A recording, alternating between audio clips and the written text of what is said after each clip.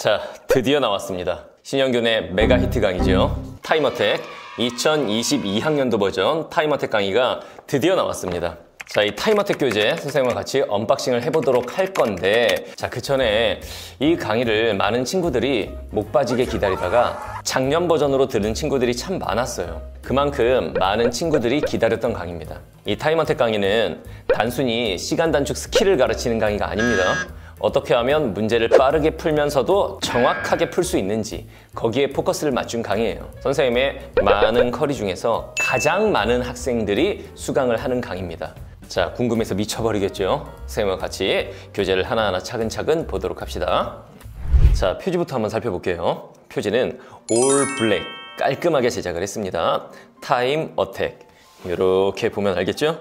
Time Attack. 자, 이거 제목만 보고 많은 친구들이 아, 시간을 단축시켜준다고? 야매 강의 아니야? 이렇게 생각하는 친구들이 있더라고. 이 강의가 선생님의 베스트셀러 강의가 된 데에는 이유가 있을 거 아니에요? 자, 시간 단축 플러스 정확도 이 두 가지를 동시에 잡는 걸 목표로 하는 강의가 이 Time Attack 강의예요. 자, 실제로 선생님 강의 수강평 중에서 이 Time Attack 강의에 대한 수강평이 가장 많아요. 많은 친구들이 얘기하는 건 뭐냐면은 이 강의를 듣기 전과 이 강의를 들은 후에 내 국어 성적이 달라졌다. 최소한 시간 안에는 45문제를 다 풀게 만들겠다라는 강의야. 더 정확하게 말하면 45문제를 65분 안에 푸는 걸 목표로 하는 강의입니다. 왜 65분일까?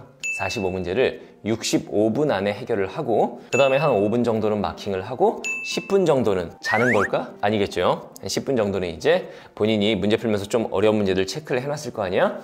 그 문제들을 검토하는 시간까지 만들어주는 걸 목표로 합니다. 자, 뭔가 선생님의 포부가 대단하게 느껴지죠?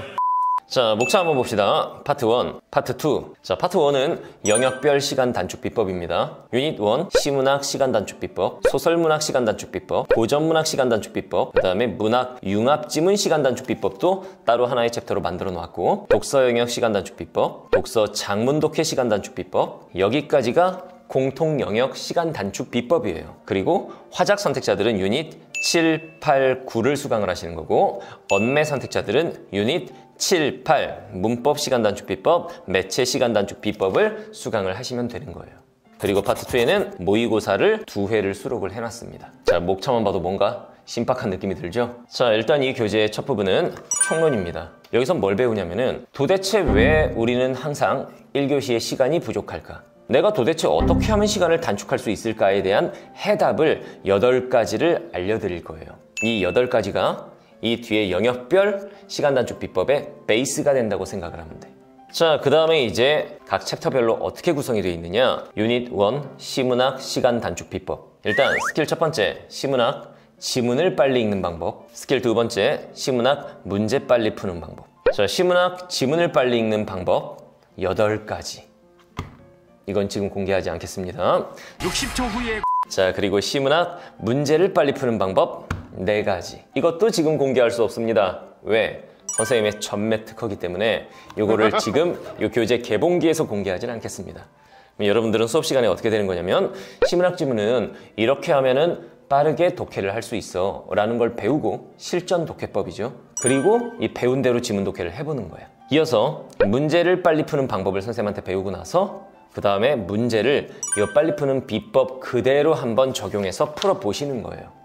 그러면 여러분들이 뭘 알게 되느냐? 와, 내가 평상시에 문제를 이렇게 풀었어야 되는데. 그리고 이 뒷부분에 수업 시간에 배운 그대로 적용을 해볼 수 있도록 배운 대로 풀어보자 라고 해서 문제를 선생님이 수록을 해놨는데 이 문제들을 선생님이 내가 가르쳐준 비법이 그대로 적용될 수 있도록 만든 문제들이냐? 그렇지 않습니다. 기출 문제들이에요. 기출 문제 중에서도 조금 문제가 어렵고 굉장히 좋은 기출들을 선생님이 선별을 해놨어요. 그리고 이 지문과 문제 위에는 뭐라고 써있냐면 4분 30초 안에 지문 독해와 문제를 해결하라. 이런 식으로 타임을 딱 걸어 놓았습니다. 여러분들 이 뒷부분은 초시계를 딱 놓고는 여기에 써 있는 그 시간에 맞춰서 푸는 연습을 한번 해보는 거예요. 그러면 여러분들이 뭘 알게 되냐면 와, 나 원래 한 지문에 막 6분, 7분씩 걸... 4분 30초 안에 야, 이게 내가 되네.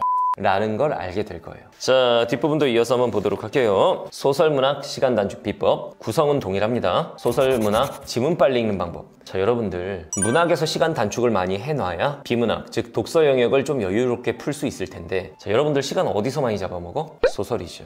그래서 선생님이 소설 문학은 이렇게 하면은 빠르게 지문을 읽을 수 있다. 비법 전수를 해줄 거고 그 다음에 소설 문학 문제를 빨리 풀려면 이렇게 풀면 된다라는 방법을 문제 유형별로 설명을 해줄 거예요. 알겠죠? 그럼 마찬가지로 한 두 지문 정도를 같이 연습을 하고 그리고 배운 대로 풀어보자. 이 뒷부분도 구성은 동일합니다. 유닛 3이 고전문학 시간 단축 비법. 여러분들 고전문학 미쳐버리겠죠. 아니 모르는 말이 많다 보니까 고전 시가든 고전 산문이든 읽는데 시간이 되게 오래 걸리죠. 이런 내용이 있었어? 다시 찾아야지 뭐. 아, 나 이거 지문에서 내용 파악 못했는데. 다시 찾아가고 매 문제 풀 때마다 그 악순환이잖아. 그 악순환을 선생님이 끊어줄 겁니다. 자, 그다음에 유닛 4 문학 융합 지문들. 여러분들 6월 평가 모의고사를 떠올려 보면은 시 두 편, 소설 한 편, 문제 개수는 6개. 여러분들 거기서 시간 되게 많이 소모할 거란 말이야. 자, 그럼 우리가 이런 지문들은 어떻게 하면 좀 빠르고 정확하게 해결할 수 있을까? 그 비법을 배울 겁니다. 특히나 이 문학 융합 시간 단축 비법을 배우게 되면은 여러분들 기존에 푸는 속도의 한 두 배속, 두 배속 정도로 나올 거라고 선생님이 장담할 수 있어요. 이렇게 말하니까 꼭 내가 사기꾼 같아. 그게 아니야. 야매를 배우는 게 아니라 전략적인 문제 풀이법을 배운다고 생각하면 돼. 자, 그 다음에 유닛 5, 독서, 비문학, 시간 단축 비법. 어떻게 하면 비문학에서 시간을 조금이라도 단축할 수 있을까? 그 방법을 배우고 문제를 빨리 푸는 방법도 7가지로 선생님이 정리를 해놨습니다. 이 방법을 또 배웁니다. 자, 그 다음 유닛 6, 독서 장문 독해. 카나형, 지문도 너무 길고 문제도 6문제나 딸려있고. 이 지문이 여러분들 최근 본 6월 평가 모의고사에서는 바나나 지문 기억나죠? 그런 지문. 어떻게 하면 그런 장문 독해 지문들을 빠르고 깔끔하게 풀어낼 수 있는지 그 비법을 선생님한테 배우게 될 거예요. 자, 여기까지가 공통 영역, 문학과 독서 영역, 시간 단축 비법이에요. 여기서 끝나는 게 아니라고 그랬죠. 자, 유닛 7 선택 영역, 화작 선택자들을 위한 부분입니다.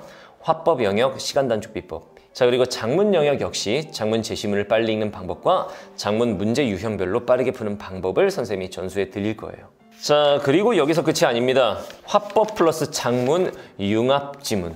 지문이 두 바닥이고 문제가 다섯 개나 달려있는. 거기서 여러분들 시간 소모가 굉장히 많았을 거야. 화법 플러스 작문 융합 지문 두 배속으로 풀 수 있는 비법을 선생님이 알려드릴 거예요.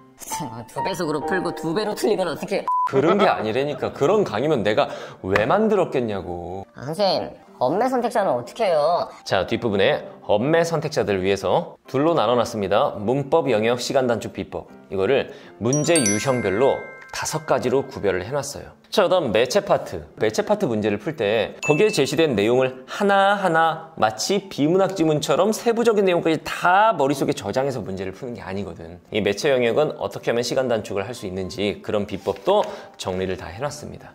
자, 이 매체 파트까지 끝나면 영역별 시간 단축 비법을 다 배우게 돼요. 여기서 끝이 아닙니다. 자, 이어서 뭐가 있다고요? time attack 실전 모의고사. 자, 배우기만 한다고 내 것이 되는 게 아니죠. 내가 제대로 체화를 했는지 적용하는 시간을 가져야 될 거 아니야. 그래서 선생님이 실전 모의고사를 뒤에 수록을 해놨습니다. 자, 선생님이 약속 하나 하겠습니다. 이 time attack 강의를 완강을 하고 나면 여러분들 최소한 10분 정도는 분명히 단축이 될 겁니다. 이건 선생님이 여러분들한테 약속할 수 있어요. 자, 교재를 본 소감이 어때요? 진짜 뭔가 여러분들이 필요로 하던 좀 색다른 형식의 그런 강의지. 특히나 시간이 부족해서 국어 점수가 잘 안 나오던 친구들은 이 강의를 듣기 이전과 이 강의를 들은 이후에 국어 점수, 아니 등급 자체가 완전히 달라질 거라고 선생님은 확신하고 있어요. 자, 이 교재를 응원 문구가 정성스럽게 박혀 있는 사인 교재를 받고자 하는 친구들은 이 영상 밑에 댓글을 달아주세요. 자, 첫 번째, 이 교재를 본 소감. 자, 두 번째, 내가 왜 이 교재를 받아야만 하는가? 세 번째, 본인의 이메일 주소. 이 세 가지를 영상 밑에 남겨놓으면은 선생님이 10명을 선정을 해서 착불 아니고 선불로. 보내드리도록 하겠습니다. 여러분들의 실질적인 점수 향상에 많은 도움을 주기 위해서 진짜 준비 많이 하고 노력 많이 했으니까 이 강의를 통해서 여러분들의 국어 점수를 바꿔보도록 합시다. 알겠죠? 자, 강의에서 만납시다. 선생님과 같이 unboxing을 해보도록 하겠습니다. 따라오세요. 자, 다시 이 부분. 궁금해 죽겠죠? 자, 같이 봅시다. 자, 이상해, 이상해. 음. 자, 궁금해서 미쳐버리겠죠? 어, 선생님하고 같이 교재를 차근차근, 자, 들여다보시죠. 이상하다.